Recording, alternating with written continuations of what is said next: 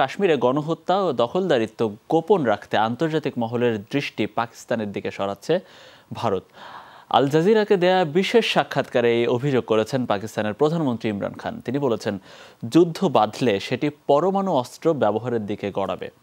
এদিকে ভারতীয় প্রতিরক্ষা মন্ত্রী রাজনাথ সিং বলেছেন, কাশ্মীর ইস্যুতে ধর্মভিত্তিক রাজনীতি করলে আবারও বিভক্ত হবে পাকিস্তান। ভারতে সংখ্যালঘুরা সবচেয়ে সুরক্ষিত বলেও দাবি ভারতের স্বরাষ্ট্রমন্ত্রীর।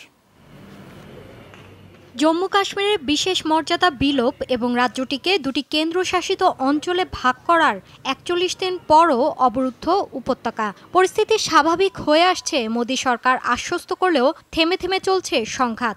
আন্তর্জাতিক মহলেরও দাবি, অঞ্চলটিতে লঙ্ঘন হচ্ছে মানবাধিকার।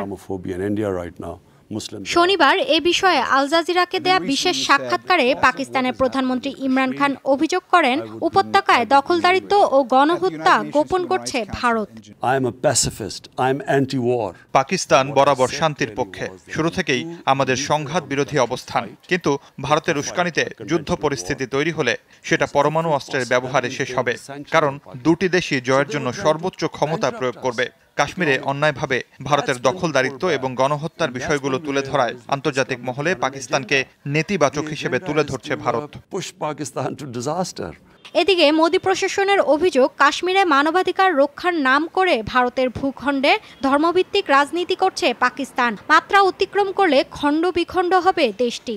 भारत कभी जाति पंथ अथवा मजहब की राजनीति में विश्वास नहीं करता है ভারত কখনোই ধর্মবর্ণ ভাষার ভিত্তিতে রাজনীতি করে না বরাবর সেই চর্চা পাকিস্তানের ধর্মভিত্তিক রাজনীতিক চালিয়ে গেলে দেশটির খণ্ড বিখণ্ড হওয়া কেউ ঠেকাতে পারবে না উপত্যকায় বরাবর মানবাধিকার লঙ্ঘনের অভিযোগ তুলছে পাকিস্তান কিন্তু ভারতে সংখ্যালঘুরা সবচেয়ে বেশি সুরক্ষিত जहाँ पर रहने वाला अल्पसंख्यक सुरक्षित है সেপ্টেম্বরের চব্বিশ তারিখ থেকে নিউ ইয়র্কে বসছে জাতিসংঘের চুয়াত্তরতম সাধারণ অধিবেশন। সেখানে ইমরান খানের ভাষণের মূল প্রসঙ্গই থাকবে জম্মু কাশ্মীর। আর পাল্টা জবাব দিতে প্রস্তুত মোদিও। মৌলি ইসলাম, যমুনা নিউজ।